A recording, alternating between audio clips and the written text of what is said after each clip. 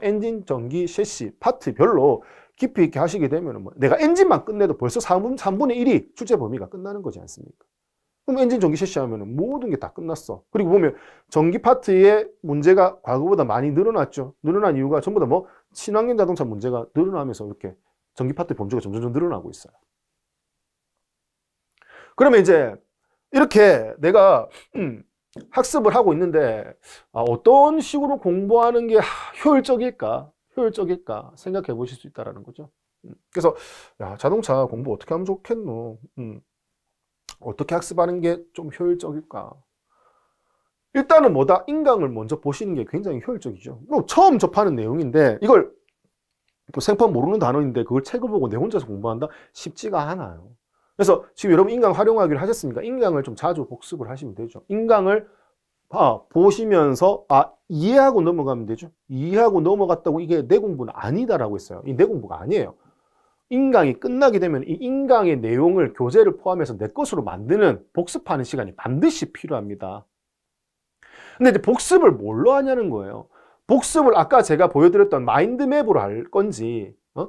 마인드맵으로 할 건지 아니면 그냥 기본서에 그냥 기본서로 바로 정리를 할 건지 기본서 보면서 바로 정리해서 복습을 하든지 아니면 뭐야 내가 노트 별개의 노트를 만들어서 따로 정리를 하든지 편하실 쪽으로 하시면 돼요.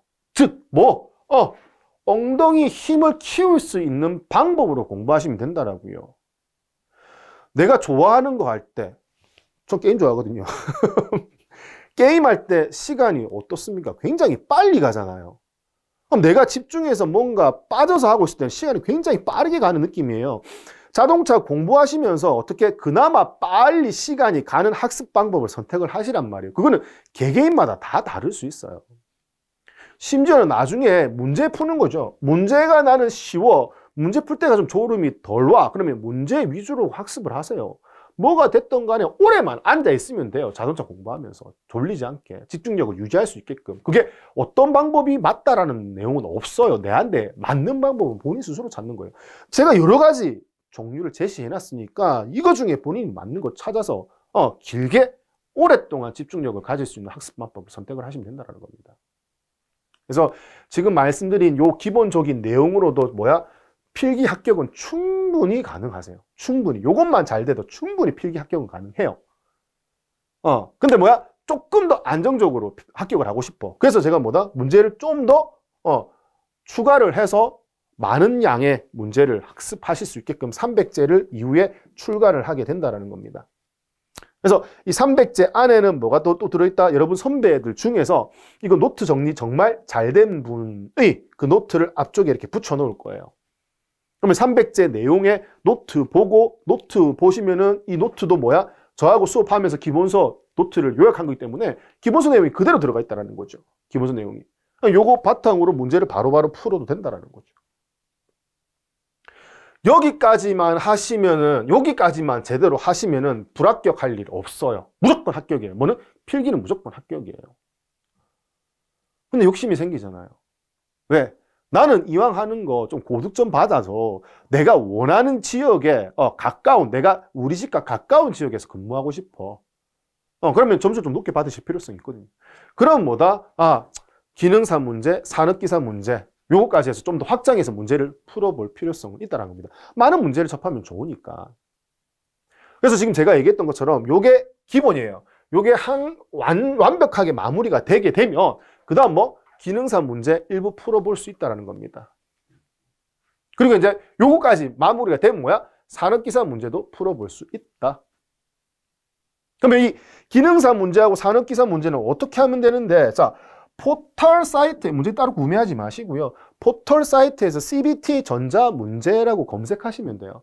그러면 전자 문제라고 검색을 하시게 되면 요 주사창 어, 클릭하는 내용으로 들어오시게 되면 요 전자문제집 CBT라는 게 있습니다. 이거는 휴대폰에서도 똑같이 됩니다.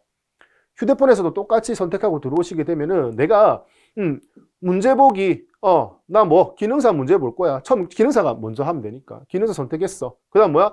나는 자동차 정비예요. 자동차 정비가 제일 가까우니까 자동차 정비 내용을 찾으시는 거예요. 엄청나게 많죠. 자동차 정비 기능사예요. 그래서 어 다 선택을 하셨던 거죠. 그럼 선택하면 정비 기능사 선택. 자 어떻게 할래? 자 한 문제씩 볼 거야. 그냥 휴대폰을 가볍게 넘길 거니까. 한 문제씩 보고 정답은 감추고 볼 거야. 그리고 어 문제 보기 이렇게 누르면 실제 문제가 한 문제씩 나온다라는 거죠. 과거에 정비 기능에서 나왔던 문제들이. 그리고 이제 앞에 보셨던 분들이 이렇게 해설까지 달아놨어요. 그러면 가리고 위에 어떻게 문제부터 풀어본다는 거죠. 스마트폰으로 보면 문제부터 보여요. 드래그해가 위로 올려야지만 해설이 보이거든요. 해설도 전부 다 여러분들하고 같이 공부하시는 분이 미리미리 보고 아 이거 내가 달 수 있는 거 달아놨다는 거죠. 어, 해설 보면 완성도가 꽤 높은 편이더라고요. 그리고 틀린 내용이 있으면 또 뒤에 수정해가 또 첨삭할 수 있고요. 그럼 문제 보고 아, 몇 번이야? 그럼 정답 보면 몇 번? 이렇게 정답 맞출 수 있고 정답률까지 몇 퍼센트인지 나올 수 있다는 거죠. 이렇게 해서 기능사 문제를 어떻게 점점 점점 늘려 나가시면 되고 자, 그 다음에 이것도 뭐가 또 좋냐면은 요걸 내 가지고 어, 모의고사까지 칠 수 있거든요. 모의고사. 그래서 음, 문제 풀기에서 방금 했던 것처럼 기능사 선택하고요. 그 다음에 자동차 정비 기능사. 음, 일단 자동차 정비 기능사 먼저 하시는 게 좋아요. 문제가 그나마 어, 좀 풀기 쉬울 거니까.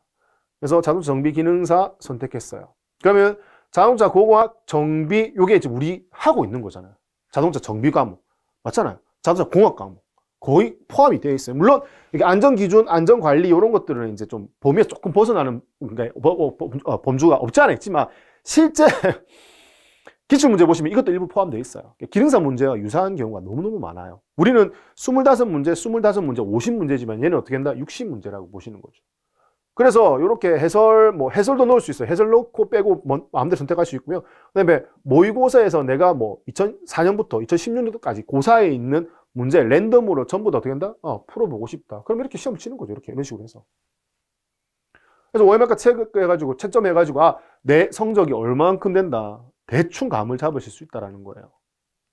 여기서 여기서 만약에 꾸준하게 60점 이상 나온다. 그러면 어떻게 된다? 우리 거의 예, 지금 인강 토대로 이렇게 CBT로 모의고사 했는데 평균 60점 이상 나온다. 그러면 웬만큼 다 합격하세요. 그러면 이제 어, 진짜 합격돼? 의문을 가지실 수 있잖아요. 그래서 뭘 제가 해보라고 해.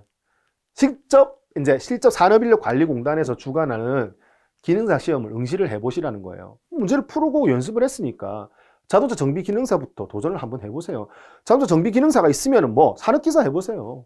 상위 자격증으로 갈수록 가산점도 높고 어떻게 근무하게 될 때 수당, 자격증 수당도 더 높은 금액이 나오게 되니까 어떻게든 뭐 하는 과목에 취득하시면 편할 거 아닙니까?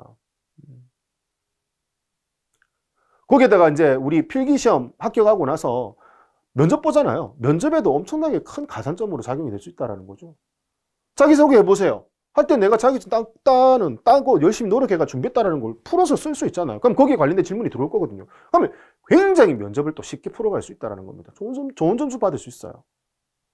그래서 이제 제가, 음, 교재를 소개하면서 제가 1회 시험이 있을 수 있으니까 먼저 좀 알아보라고 제가 설명을 드렸거든요. 교재 설명하는 그 영상을 찍으면서요.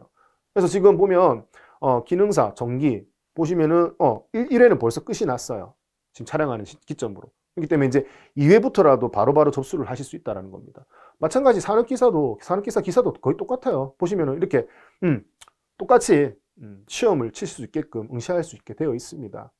이제 산업기사의 좋은 점은 이래요. 산업기사 같은 경우는 시험이 어떻게 되어 있느냐 과목이 엔진, 전기, 셰시, 그 다음에 뭐다? 친환경 자동차에서 이렇게 네 과목이 되어 있거든요. 과거에는 뭐 이거 대신 일반 기계공을 했단 말이에요. 이 친환경 자동차 여기 들어가 있고. 그래서 이 뭐 일반 기계공학 우리하고 전혀 상관없기 때문에 실제 우리가 학습하는 내용하고 많이 좀 거리감이 있었다는 얘기예요. 근데 이제 실제 여기에 친환경 자동차가 들어왔기 때문에 어, 모든 과목이 뭐 산업기사 과목이 전부 다, 다 우리가 준비하는 과목이고 다 맞아 떨어진다는 거죠. 그리고 여기 친환경 자동차 과목에 나오는 문제들은 이게 만약에 우리 군무원의 문제가 출제가 됐을 때 이게 전부 다 변별력 문제로 점수를 차별화 주기 위한 문제로 나올 확률이 엄청나게 많다라는 거죠. 그런 확률이요. 그래서 이렇게 해가지고 자격증까지 취득하면서 어 만약에 필기 합격을 했어. 기능사나 산업기사 내가 합격을 했단 말이에요. 그러면 엄청난 동기부여가 됩니다. 아 어, 뭐 되는 것 같은 느낌이 들거든요. 아, 실제 이제 필기 합격하면 어, 자기 딸수 있을 것 같거든요. 얼마나 재밌습니까? 거기에 대한 이제 필기 합격되면 실기까지 욕심이 나죠. 그러면 실기 준비하면서 뭐, 이건 직업학교라든지, 예, 자동차 학원이 있을 거예요. 그럼 거기에 이제 등록해가지고 실제 실물도 만져보고, 음, 거기 있는 선생님들하고도 교류하면서 보다 많은 내용을 진짜 실제 저하고 이론적으로 수업했던 내용들을 전부 다 실무에, 실무하고 접목시킬 수가 있거든요. 그 실무하고 접목시켰던 내용 중에 또 일부가 뭐 정비 문제로 나올 수 있다는 거죠. 음. 그래서 이런 과정으로 준비를 하시게 되면 군무원 최종 합격 못 하시는 게더 이상하지 않겠습니까? 방금 제가 말씀드렸던 것처럼 이 커리만 제대로 타고 들어오시면 무조건 군무원 합격하게 되어 있습니다.